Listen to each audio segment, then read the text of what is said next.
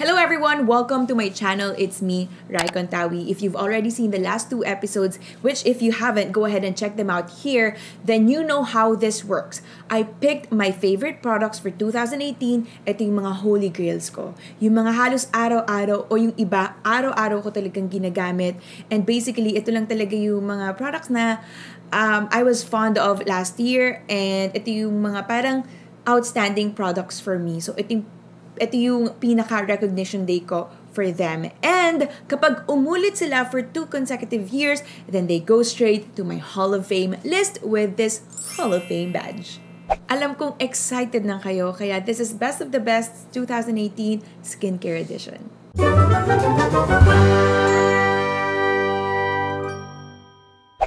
I'm going to start with makeup removers. One realization is that ang excited ko talaga sa episode na to kasi napakahili ko sa skincare and noong 2018, I focused more on my skin than makeup. And also, one realization is that mas marami akong makeup removers more than anything else sa aking skincare loot. I'm going to start with this. This is Biore's Cleansing Oil. And this is what I use if I want to remove heavy makeup. This turns into a milky solution once in contact with water. Same with Claire's Gentle Black Deep Cleansing Oil. Pareho sila, except that ito kasi ang ginagamit ko with an exfoliator na ipapakita ko sa inyo mamaya. Meron din akong gamit before and that was Centillion 24's Cleansing Water. Yun ang gamit ko kapag magbubura ako ng light makeup like this. So ngayon, para talagang for the sake of skincare, hindi na ako nag-foundation para maipakita ko sa inyo kung ano yung pinagtrabahuhan ko talaga last year. So ito ang aking skin. And I'm really happy. Um, so yun nagamit ko pag light makeup and hindi lang kasi siya pangtanggal ng makeup uh, kasi since it's cleansing water, pwede rin siyang panglinis lang ng face kung gusto niyo magtanggal ng impurities and dirt before your facial wash. And last but definitely not the least, ito ang aking um, I think top one then and it's really like strong pagdating sa pagtanggal ng makeup. This is Nivea's Daily Essentials Double Effect Eye Makeup Remover. Ito ang gamit ko specifically sa mata. Tinapon ko na yung last. Uh, ito na yung replenishment para din maipakita ko sa inyo kung ano yung itsura niya. Nagkahati siyang ganyan pero you have to shake it when you use it. This is what I use for my eyes. I don't use these for my eyes. Number one, itong Biore downside is stinging siya sa mata which is very ironic because sabi dito, you can remove waterproof mascara and then the other ones and I mean the other note says na once in contact with water or once it gets into your eyes rinse immediately or avoid contact with eyes sabi. So it's kind of ironic na you use this sa mata mo and then you avoid contact with eyes but you actually parang I, I, I get the point na hindi sa loob. Pero still, it can't be helped na talagang papasok minsan yung product. So, it's kind of stinging, so I don't like this. And also, the consistency is kind of blurring sa vision. But this one is really amazing when you use the eyes. It's non-stinging. It's very friendly. Even if I remove my makeup when I still have my contact lens, it doesn't give me that blurry vision. And meron akong comment na nakuha. Ang sabi niya, Paano naman daw? Kasi kung napanood yung last episode, pinakita ko yung aking paboritong pink sugar, a black eyeliner na sobrang tipay. And then parang tinanong niya kung paano mo naman matatanggal. The answer is this. This is Pink Sugar's All Day Liner na color black which I told you na sobrang hirap niyang purahin. And to fasten the process, I'm going to wet this with water para once in contact na siya with water, titigas yung oil content niya and mas madali siyang mag-set basically. Okay, one more. If you want to know further kung bakit gusto ko itong product na to, panoorin niyo yung second episode, yung Best of the Best 2018 Affordable Edition. So let's try smudging this. Okay, medyo nasa smudge pa siya, so meaning hindi pa siya totally set. So I'm gonna wait for a few seconds and I'll be right back. And I'm back and nagdagdag na rin ako ng isang linya. Gagawin ko ulit yung isang test na Biore yung gagamitin ko, yung isa yung Nivea. So let's try. Okay, this is again water para ma makita natin na smudge proof na sila pareho. Smudge proof, there you go. Okay. I think it's all set. So on this side, ang gagamitin ko yung Biore. Like the process, okay, let's get a little bit of oil and just massage this. Okay? So, nakikita nyo, nandiyan pa rin siya. And then, punasan natin siya with water. You'll get a lot of, you know, you need a lot of swiping. And then another one go back to it. Sa mga nag-worry kasi, parang, uy, ang tagal pala niya burahin, edi paano yun? But again, not with Nivea. So this time, I'm going to use this. Shake this. This is like really, really good. Now, I will get a dry cotton pad. Soak this maybe one, two, three, three pumps, three pumps, three, I don't know, drops. And then, soak this dun sa eyeliner. Maybe leave it on for 5 seconds. Count 5, 4, 3, 2, 1. Or 5 counts. And then, gently wipe it off. And that's almost gone. It's it's gone kung saan in contact yung bulak. And then just wipe it again. And it's totally gone. And because of that, you, Nivea Daily Essentials Double Effect Eye Makeup Remover, you are certified Hall of Famer. Now it's time for exfoliators. As what I've mentioned earlier, itong Klairs Cleansing Oil, pinapartner siya dito sa specific na exfoliator. And that is this. This is the Klairs Gentle Black Sugar Facial Polish. Before, kapag ginagamit ko siya, para medyo lumabnaw siya at para hindi siya malagkit. Kasi, sabi nga, 'di ba, sa sa pangalan niya, sugar siya. So medyo malapot talaga siya. And nilalagyan ko siya ng tubig. But the problem is, kapag napaparami yung tubig, natutunaw siya and nawawala yung grit. Eh gusto ko talaga yung feeling na nasa scrub yung face ko.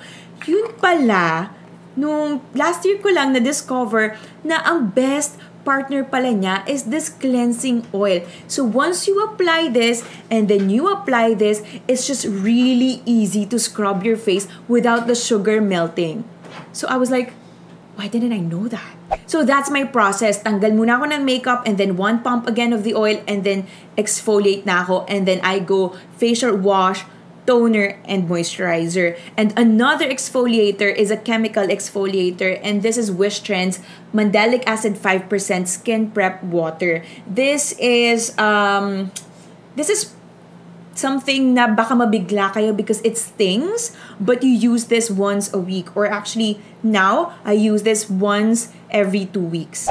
I like these exfoliators kasi una ito, nafe-feel mo talaga na nagsusmoothen yung face mo. Let's say, for example, nararamdaman ko na medyo maaligasgas yung mukha ko, hindi ka kapit yung makeup ng maayos. So if I really want that smooth surface, I use this. And this has kind of that immediate effect in really polishing your face. And this one naman, mafe-feel mo na kahit yung mga blackheads and whiteheads, nalilinis niya. So medyo deep down the pores ang linis niya compared to this one na medyo surface lang ang nalilinis. So this is more of a parang deep exfoliating kind of because it really penetrates the skin while this one is more of the mabilisan surface only exfoliating. Let's now go to my favorite cleansers. Ito yung CosRX Salicylic Acid Daily Gentle Cleanser. And as what I've said last year, uh, for I think four months now or going five months, I went all Centillion 24 with my skincare. So this is basically my backup, but I still use this whenever I break out. But my main facial wash right now is this. This is Centillion 24's Madeca Bubble Cleanser. This is the one that when you pump, ano na siya, paubos na siya, um, bubble siya. This is already my second bottle. Let's start with this. Whenever I break out, let's say for example, nung nag-dye ako ng hair, and the reason why I dyed my hair darker again is that because nung light pa siya, I needed to use purple shampoo. And sobrang acne prone and sensitive ng balat ko na nag-cause ng breakout sa aking forehead. So what I do is I use this on my forehead because this removes excess sebum. And since binabawasan niya yung oil, so mas less yung uh, bacteria or yung infection ng pimples or yung breakouts. And mas mabilis siyang matiyo because of salicylic acid. And then, I rewash again my face with this. This is Centillion 24 Bubble Cleanser. And I love this because um, complementing yung kanilang formula with the rest of what I use. Since I always use Madeca cream, uh, it's just I think it's just right or it doesn't harm to use the same cleanser because they have the same active ingredient and I find it more effective. And now, hindi mo na ako gaano nagbe-break out and mas mabilis yung healing process ng aking mukha. I have that natural glow and I'm really loving it. Next, toners. Unahin natin itong Claire's Supple Preparation Unscented Toner. Ito ang gamit ko before ako nag-all Centillion 24 na line. At ang gamit ko originally yung black ang container, yung regular one nila. This is the unscented one. Binili ko para makita ko kung mas okay siya since sensitive ang aking balat. Pero I would say okay naman. Yung isa hindi siya scented, hindi matapang yung scent niya, very mild, okay pa rin sa mga acne prone. Uh, by the way, I have dry And hindi siya sobrang dry, nag-heal na siya. So I would say like kind of combination. Um, acne prone and sensitive ang aking balat. So madali ako mag-red, madali akong mamantal. So yun, yun ang aking skin condition para sa mga nagtatanong or sa mga magtatanong kung ano ang aking skin type. So yun, they basically work the same except sa amoy lang. They still have the same consistency which is kind of a thick water, hindi siya sobrang runny and fluid. And that's why makakagamit kayo ng kamay lang in applying this onto your face. The next one is the Centillion 24 Madeca Toning Essence Treatment. The reason why nag-all Centillion 24 na ako is that ayoko kasi silang mag-clash with each other. So I know na pare-pare yung active ingredient nila na Centillion, uh, or I mean, uh, Centella Asiatica. Kaya okay naman. Like so far sa akin, parang um, ang napansin ko lang is that hindi ako nagbe-breakout. The next one is this. This is Happy Skin's Perfect Clean Ultrasonic Silicone Cleansing Device. I checked for you and it's ultra mega more expensive than this one. And looking at it, looking at the reviews whatsoever, they work the same exact way. I believe this one is only 999 pesos. And again, it, it pretty much works the same way. It has this very soft uh, silicone material. Really good, doesn't look cheap. So you just click it and then you can also increase the intensity of the vibration para talagang um, it gets there, it cleanses. So I use this if I really want a thorough cleansing. So minsan ginagamit ko siya with my makeup removers, yung mga oils, and minsan naman with the cleansers kasi yung bubble cleanser na yun, it's really nice to use kasi once na pag-pump nyo, ayun na, naka-bubble na siya, naka-foam up na siya. And I, I would say na I don't use this like regularly or almost every day because I feel like nakaka-dry, nakaka-strip away siya talaga ng oil. So I use this maybe twice a week. Punta naman tayo sa body care. Ito yung A-Stop Clear Face and Body Toner. Ginagamit ko siya mostly sa katawan than sa mukha kasi alam niyo naman ako, ang tamad ko mag-lotion ng mga malalagkit parang ano ang, ang iki ng feeling kapag parang uh, ang init, parang ganun. Uh, ginawin ako pero ayoko talaga yung siguro Ewan ko. Basta pag naiisip ko na ganun yung consistency ng lotion minsan, tinatamad na ako agad. Eh, ang dry nga ng aking balat. Minsan, pag magsasabon ka ng safeguard, ay ubod talaga ng drying yung balat. So, yun. Um, madali siyang gamitin kasi spray-spray lang kayo sa katawan. Parang spray, spray, spray, tapos medyo pat, pat, pat, pat nyo na siya. Makikita nyo, may moisture as uh, may moisture siyang binibigay at saka hindi siya as dry. So, I really like it. And uh, the other one na ginagamit ko, ito, sobrang cheap but I really love virgin coconut oil. I specifically use this as my lotion and as my tanner kapag pumupunta ako sa beach. I like this. And ito rin yung paborito ni Spike na appetite booster niya. Kapag hindi niya na kinakain yung mga pagkain niya, lalagyan ko lang ng isang kutsarang virgin coconut oil, simot na simot niya yung pagkain niya. I feel like this is an overall parang skincare. Pwede rin siya sa buhok as, as a hair mask. Pwede rin siya sa katawan, lotion. Pwede siya sa mukha. Pero hindi ko siya ginagamit sa mukha kasi ano din ako, medyo ganun ako. Sa mga malalagkit ulit, tsaka sa nag-iwan ng oily residue sa aking mukha. So, mostly, pang tan, tsaka sa body. Pagdating naman sa sunscreen, ang nakahiligan ko itong Cell Fusion C Laser Sunscreen 100 with SPF 50 PA+++. I really like this because it doesn't sting the eyes. Hindi na siya nagiiwan ng white cast. Um, it smells good. It smells very refreshing. A little goes a long way as well. This is famous ngayon sa Korea because I don't know Ah, sorry, I don't know.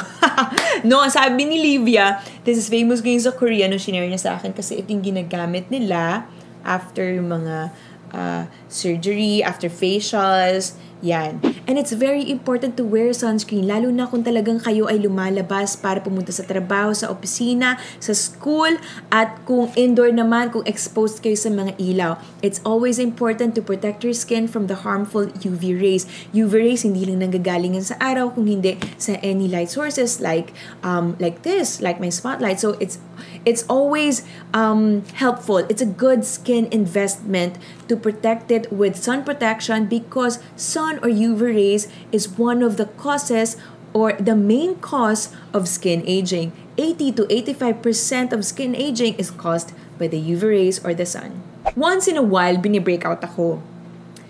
ba? Talagang once in a while. Dati mga 2016, once in a while makinis ako. Baliktad. Pero now kapag nagbe-breakout ako or may mga you know, konting zits here and there, ang ang pangpabilis ko or parang the, the product that I use to speed up the recovery, there you go, is this. This is Cosr X Acne Pimple Master Patch.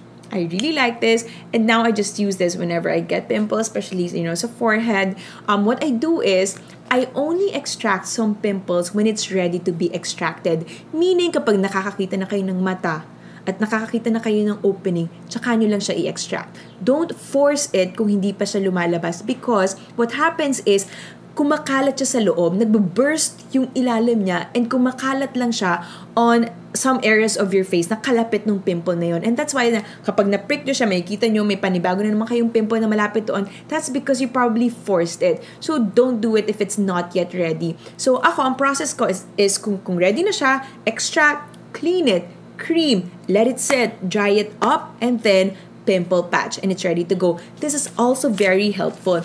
You also have this one variant, or Cosr X also has this one variant, with, which is the black one, and that is the thinner one. And pwede yung ilagay underneath the makeup. I love it. It's one of my holy grails because kapag may mga protruding pimple ako, once I apply it at night, the next day hindi na siya sobrang nakaumbok, hindi na rin siya sobrang namumula, at uh, you know, hindi totally mawawala yung pimple mo of course, but definitely huhupa siya at saka talagang i-absorb niya yung impurity sa loob. So, mas malilinis talaga yung pores na yon o yung mga pimples. And it just leads to, you know, a speedy recovery which I need because I always face the camera, I have events, and, you know, so on and so forth. Pagdating sa masks, ay, don't get me started. I have a lot of masks.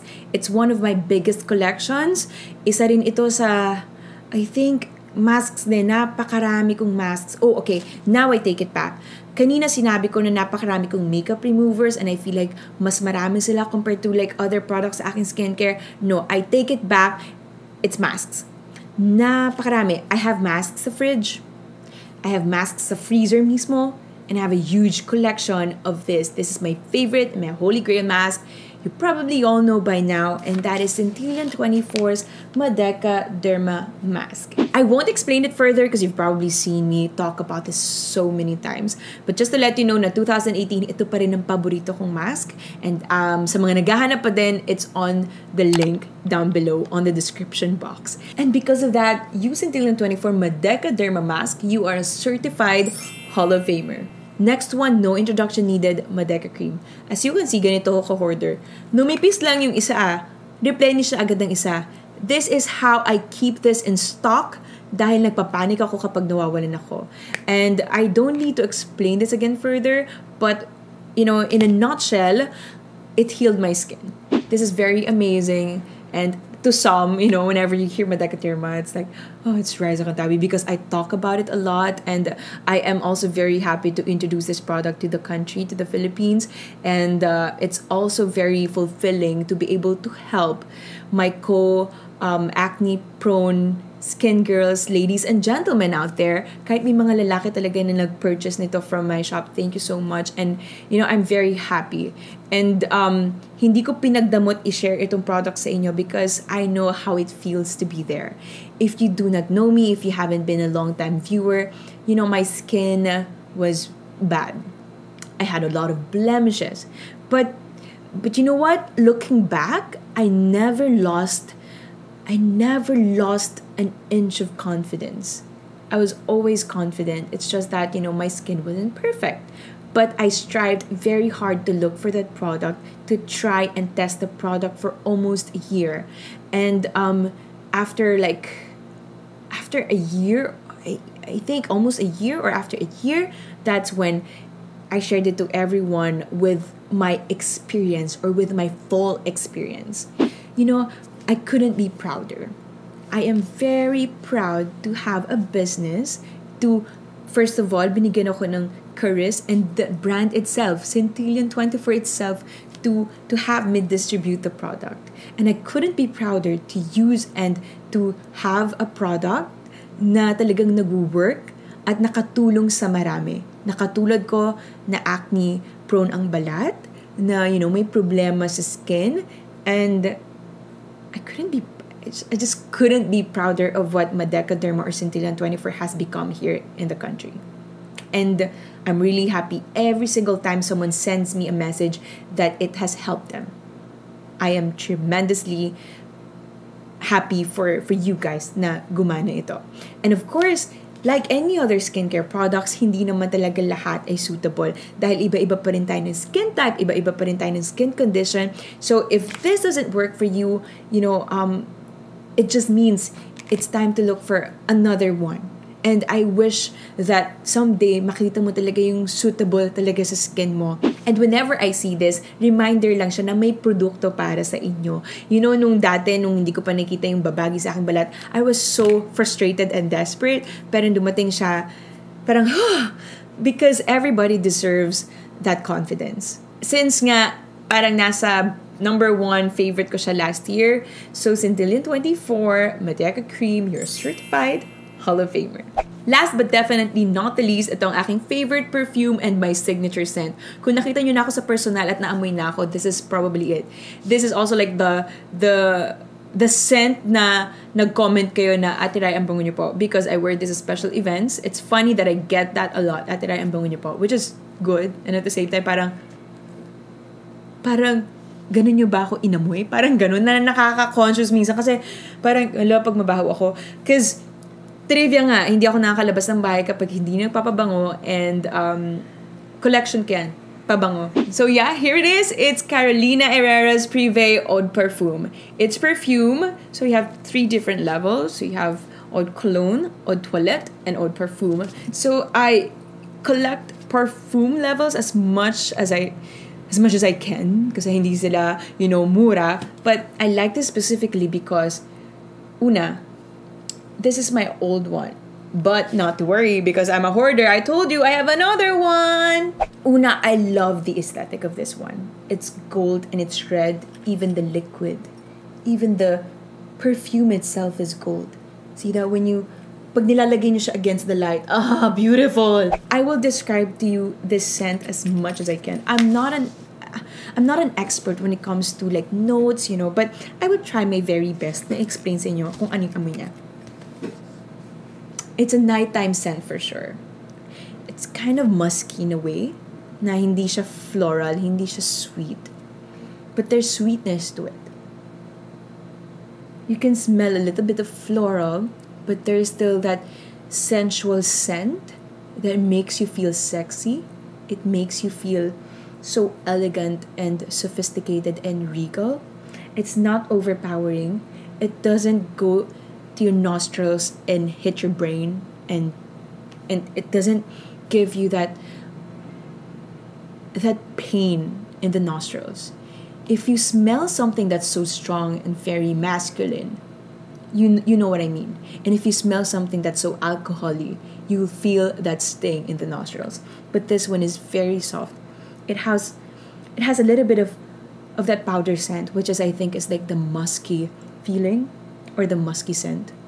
You should have the signature scent. Okay, so this I always get this from Best Buy World Philippines. And you know, I'd like to thank Best Buy World then because last year was that last year or last last year? Um so when I when I discovered their website, meron silang um, mga fragrances and sobrang like cheaper talaga yung fragrances nila compared sa mall. Like a lot cheaper. Like for example, kung ito nasa um, 6,000 or like 5,000 to 6,000 pesos, nakuha ko siya ng mga 3,000 plus to uh, mga nasa 3,800. So, ang laki. Ang laki ng tipid na nakuha ko. Um, hindi ko alam kung pinagsisihan kong shinare ko sa inyong source kasi konti lang laging stock nila for a specific perfume. Like, hindi siya hundreds. Like, mga limited yung stock. And ayokong ma-sold out because I really I need this in my life because it's my signature scent. And you should have a signature scent na kapag naamoy ng mga tao yon naaalala ka. And yeah, so this is like, this is the Riza Contawi scent. And I really love this. So, I won't keep you guys long. Thank you guys so much for tuning in and for watching all three episodes of the Best of the Best series. Sana na-enjoy nyo. Lahat ng mga produkto na na-mention nasa description box below. You can follow me on Facebook, Instagram, and Twitter, Olatriza Contawi. And don't forget to get subscribed and notified para kayong mauuna sa mga videos ko, lalo na kung may mga bago akong series na ganito. Thank you guys so much. I love you all and I'll see you on the next vlog. Bye!